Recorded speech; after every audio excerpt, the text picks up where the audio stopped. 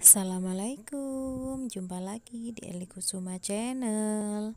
Kali ini saya akan membuat bunga hiasan dinding dari bungkus nasi. Jangan lupa like dan subscribe-nya ya, biar saya tambah semangat membuat videonya.